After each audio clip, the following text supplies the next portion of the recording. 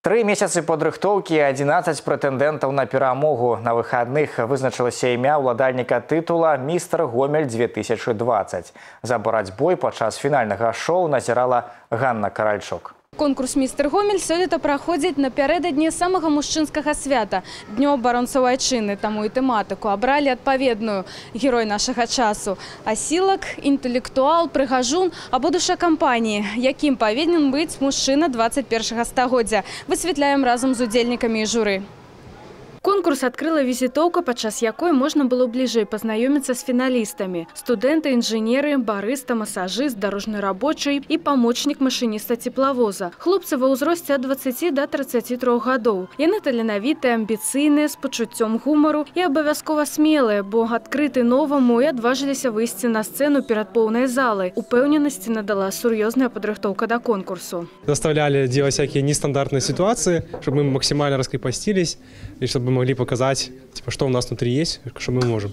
А почувствовали себя раскрепощенным, увереннее, свободнее? Да, знаете, оно очень сильно заставляет думать, как бы задействуешь креатив, заставляешь себя думать, как вот обыграть эту ситуацию, что да, оно какую-то свою пользу приносит. Волнение есть, волнения нету, потому что как-то оно понимает, что нужно делать, ну, это не волнуешься, а волнуешься, потому что может что-то не получиться, там что-то пойти не по плану. Ну как вообще готовы? ситуации. Повторяется там в голове движение? Да, только парюсь за свой танец, а в основном все оточено, только свой стиль нужно сделать хорошо, а в основном все оточено отлично. Далей удзельнікі прадстаўлялі сваё дамашняе заданне, вобразы, якія адлюстроўваюць іх стыль, характар. Хтосьці вырашыў паказаць сваю рэальную ролю клапатлівага бацькі двух дачок. Іншыя пераўвасобіліся ў анёла, доктара выратавальніка, зорку эстрады і нават казачных герояў.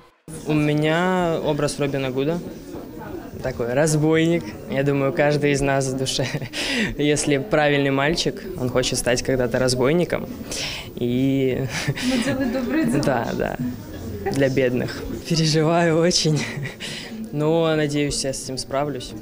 И волнения не будет видно. Пасля гэтага фіналісты дэманстравалі свой інтэлект і адказвалі на каверзныя пытанні, напрыклад, аб іх стаўленні да фемінізму. Тут трэба было быць вельмі ўважлівым і дыпламатычным, бо ў журы сёлета былі адні жанчыны. Змянілі настрой харэаграфічны нумар і выхад топлес. Атрымалася прыгожая карцінка. На сцэне гарадскога цэнтра культуры хлопцы сінхронна рухаліся, шырока усміхаліся і гулялі мускуламі.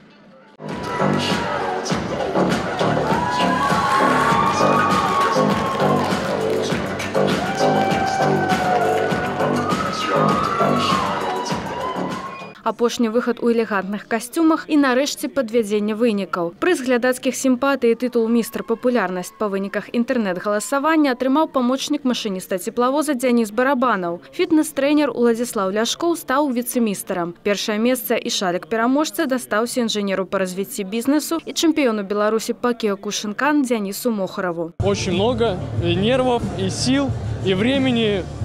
Поэтому все было не зря. Да я его снимать не буду где-то месяц.